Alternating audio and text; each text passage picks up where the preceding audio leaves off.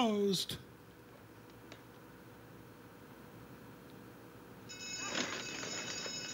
Thereof. And it's Stormin Cooney who broke on top. No look pass to the outside. Second, then Congo Road.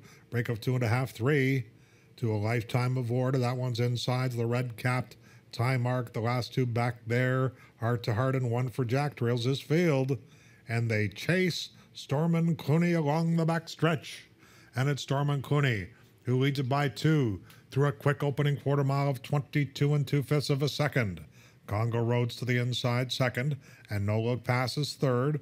A gap of four to a lifetime of war, who's in that white cap. Then one for Jack, who's advanced just a bit, followed by Tymark, and trailing his heart to heart with two furlongs remaining. Chasing this front runner, Stormin Clooney, as they turn for home. And it's Stormin Clooney, no look pass.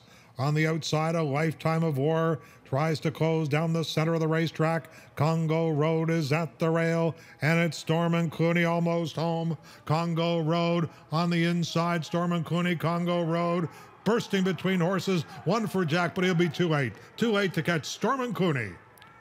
I think one for Jack won that place photo over Congo Road. It's close for fourth.